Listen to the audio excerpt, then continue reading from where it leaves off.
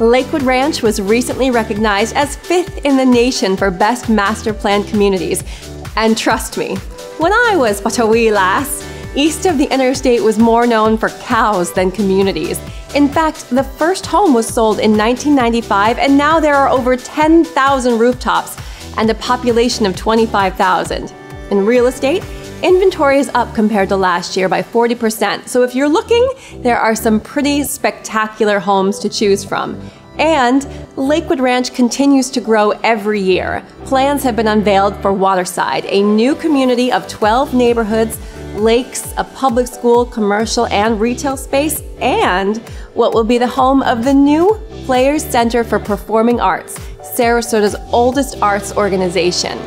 Want to learn more about Lakewood Ranch? Visit the MSC blog.